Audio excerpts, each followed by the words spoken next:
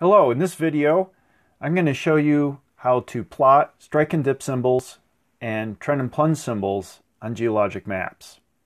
In order to plot strike and dip symbols or trend and plunge symbols, you have to be very familiar with the compass wheel. And in another video, I fully cover the compass wheel and how to convert between quadrant and azimuth. In this video, I'm just going to focus in on azimuth convention for determining compass direction.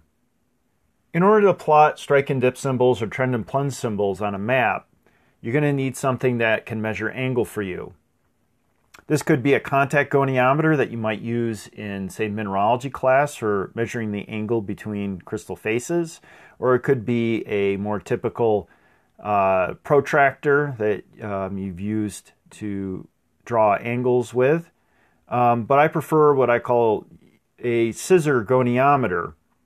And in fact, you can get these at medical supply stores um, where they're used for measuring joint angles and that sort of thing. But these are very useful for uh, measuring angle on maps and plot strike and dip symbols or trend and plunge symbols. Okay, so here's eight examples of structural measurements. We can see we have bedding, overturn bedding, foliation, mineral lineation, and then a combined foliation and mineral lineation symbol. In all these, we're assuming that north is straight up on the map which is true for many maps around the world. So let's start with bedding. You'll recall that the symbol is basically a T symbol, and the long line is the strike orientation, and the short line indicates the dip direction. So we're going to start with the strike of 043. This is an easy one to plot because it's in the northeast quadrant. So with using any of these measuring devices, it's very important to keep track of where you're going to put zero based on the measurement you're going to take and maybe any calculations that you're going to do. And you're going to count up correctly. So you can see for this particular goniometer, it has black and red numbers. And you have to keep track of which one correctly is counting up for the orientation that you want to do. With a strike measurement of 043, Plotting in it is quite easy, and it's just 43 degrees clockwise of due north. Okay, so for 043, we're going to leave the bottom part of the goniometer here, parallel with the north lines, and then we're going to rotate this side here to 45, I'm sorry, 43 degrees, counting up in a clockwise fashion. So in this case, I'm going to look at the red numbers down here 10, 20, 30, 40, 3. Right there. And then the center of my grid is the location that that measurement was taken. So I'm going to make sure my symbol gets drawn right in the center at an orientation of 43 degrees. So there's my strike line. we can see that the dip direction is southeast. So I'm going to put the short line, which is always perpendicular to the strike line, right there.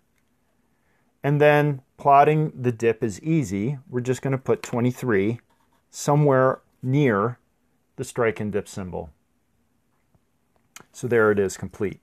For the next one, another bedding. So the symbol's going to be the same, the only difficulty is going to be plotting 321 degrees because most compasses or goniometers only go up to 180, so we have to do some simple math. So what we're actually going to do is we're going to measure 39 degrees counterclockwise from 360. So 360 is the same as north, and the difference between 360 and the strike orientation of 321 is 39 degrees. So measuring all the way around this way to 321 is going to be the same as measuring from here 39 degrees this way. So again, we're going to make sure that the base is parallel to north. We're going to measure 39 degrees because that's the difference between 360 and 321. and that is right there. And then in this case, I'm counting up using the black numbers for counterclockwise, and then I'm going to move this around, but the base is still pointed directly north until I can draw my symbol right through the middle of this grid because I've deemed that the middle of that grid is the location that the strike and dip measurement was taken. So there's my strike line. We're going to put the northeast dip direction indicator, short perpendicular line pointing northeast of the strike line. And then we're going to put the dip of 78 degrees somewhere near it. Okay, so in this third example, you can see that it's vertical bedding. And vertical structures get a slightly different symbol than what your typical strike and dip symbols for normal 1 to 89 degree dipping planes is going to get. And a vertical bedding is going to look different than, say, vertical foliation, and that's where the map legend can be referred to in order to understand the symbol. And these maps can be looked to for using typical symbols for whatever structure you're trying to plot. So the first step is still the same. And you can see for vertical bedding, the strike line is still present, a long line, but you can see it neither dips one way or the other, so it gets two dip lines, perpendicular short lines to the strike line. So plotting, we're still going to plot the strike line, same as always. So with a strike of 236, we're going to measure that as 56 degrees beyond 180 because the difference between 236 and 180 is 56 degrees. So 56 degrees clockwise of 180. So to demonstrate that, I'm going to now hold my goniometer this way. So zero is down this way. And I'm going to go now clockwise 56 degrees. And so in this case, I'm going to use the red numbers counting clockwise up to 56 degrees. And then I'm going to move my goniometer around, make sure north stays north on the base, and then I'm going to draw my strike line.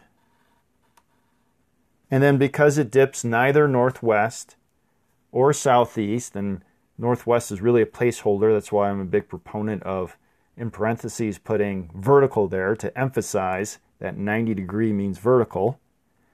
I'm going to put a short dip direction lines both directions. There is no need to put the dip measurement because that symbol indicates vertical bedding. In the next example, you see that it's horizontal. And again, if you need a numerical measurement, you could put that, but the strike orientation is actually irrelevant if the dip orientation is zero degrees because a horizontal plane strikes in all directions.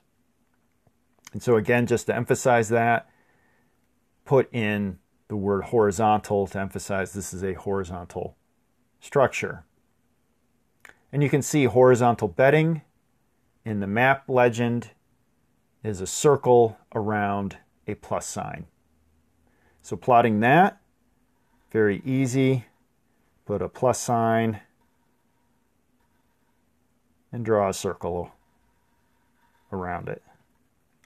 There we go.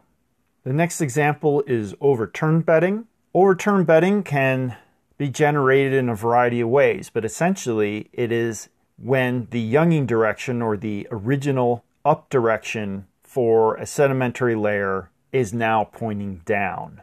So you would measure overturned beds the same way in terms of strike and dip, but in your notes you need to indicate that those beds are overturned, meaning original paleo up is now pointed down. And you can see the symbol here. It looks similar to the bedding strike and dip symbol, but you see it has this extra little U on the back side of the strike and dip symbol. So in terms of plotting, You start out with this normal strike and dip symbol for bedding, and then we add the U in at the end. So 185 strike, I'm going to plot that as that's just 5 degrees beyond clockwise direction 180. So there we go. That's 5 degrees past 180. And then I'm just going to move my goniometer around until I can draw that strike line exactly clockwise 5 degrees from north-south.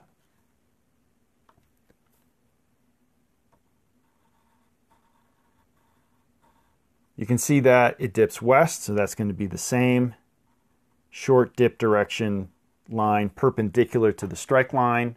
And then I'm just going to add in the little U on the back side of the symbol like that. And then we have to add in dip angle. The next example is foliation, which we find in, say, metamorphic rocks. And you can see the symbol is similar to bedding, except the dip direction indicator is a filled in triangle. So 073 for the strike, very easy.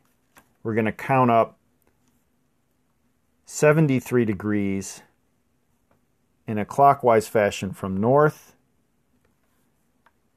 Move my goniometer around so the base is north-south. And draw my strike line. And then the dip direction is southeast, except now I'm going to do a triangle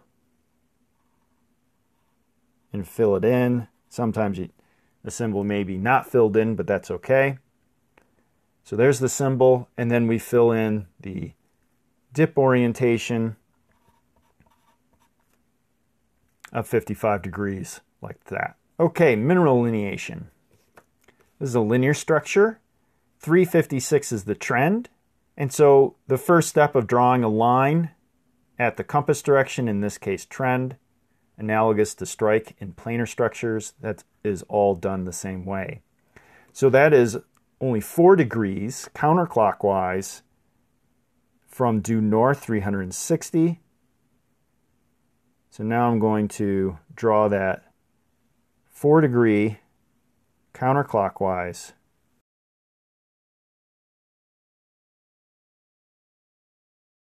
And then looking at this 356, that's on this side. So I'm going to draw my arrow for the structure like so.